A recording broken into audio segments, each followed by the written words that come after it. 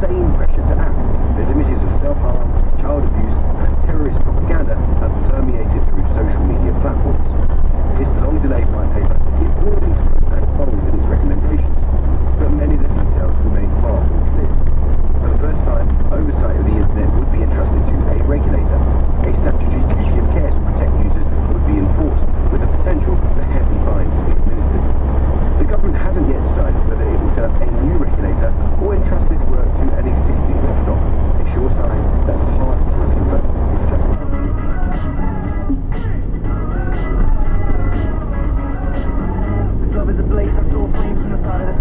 fire brigade comes in a couple of days. Until then, we got nothing to say, nothing to know, but nothing to drink.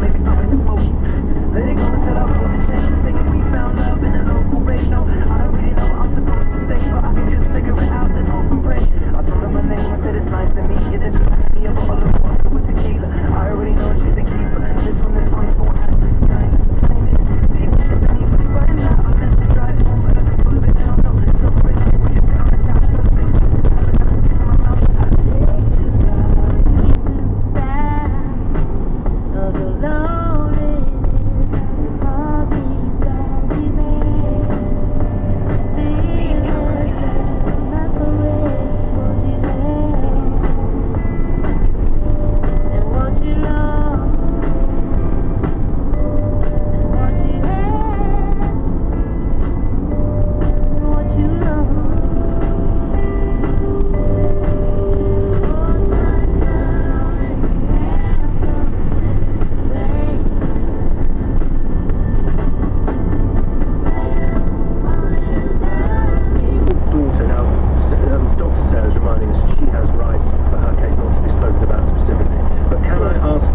she is someone who would be open to talking therapy. So I don't want to go into her case anymore, but do you think she's open to talking therapy?